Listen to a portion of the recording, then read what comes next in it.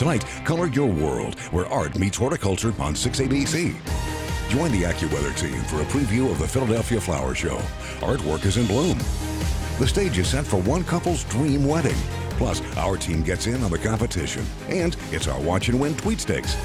6ABC presents Articulture, a preview of the 2014 Philadelphia Flower Show. And now from the Pennsylvania Convention Center, Cecily Tynan, Adam Joseph, Karen Rogers, David Murphy, and Melissa Magee.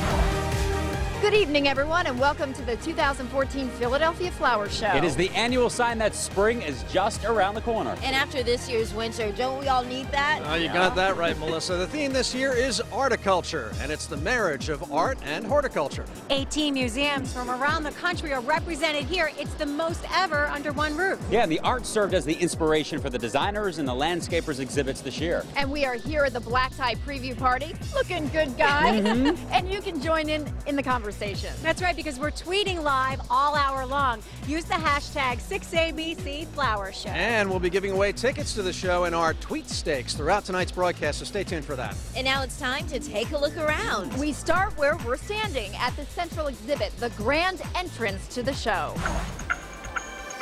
The entrance garden to the flower show is a spectacular explosion of color and scents as soon as you walk through the door think primary colors are really bold, lots of color. When you walk in, it's just going to hit you in the face with all this great color. The entrance garden is inspired by the paintings and sculptures of Alexander Calder, one of the three generations of Calders whose iconic works can be seen from the top of City Hall to the Logan Square Fountain to inside the Philadelphia Museum of Art. You walk in and literally see three frames basically built within each other that actually creates this amazing floral picture inspired by Alexander Calder. And as you start to walk around, you're actually going to feel that this artwork becomes three-dimensional.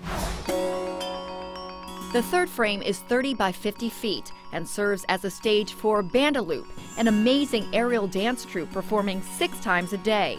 They are actually vertical dancers. They'll actually hang from the ceilings of the convention center and be dancing on and around and over and above the entrance garden. The dancers give the feel of a Calder sculpture come to life. They seem like they're floating over the exhibit. Because they're hanging and dancing on a vertical surface, you're going to see them sway out over the audience and sway out over the entrance garden and really do some big swinging. The oversized floral frames are made of more than 50,000 dried flowers, plus cut flowers and plants and surrounded by a garden of sculpted trees, rounded boxwoods, and Dr. Seuss-like topiaries. What an entrance. The exhibit is gorgeous and the colors just stunning. And those Bandaloop dancers, absolutely amazing. Yeah, and of course, this is just the start. The central exhibit is surrounded by five showcase exhibits created by some of the best designers in the country. And just like the central exhibit, each was inspired by an artist or museum. Stoney Bank Nurseries partnered with the Brandywine River Museum to create an exhibit inspired by the works of three generations of Wyeths. He visited the studios of Andrew and N.C. Wyeth to gain inspiration and really understand how these artists worked. The exhibit includes a replica of the artist's studio. Sycamore serves as the focal point at a native woodland garden with a prairie and a tributary of the Brandywine River. An open grassy field and rustic wagon are reminiscent of Wyeth paintings.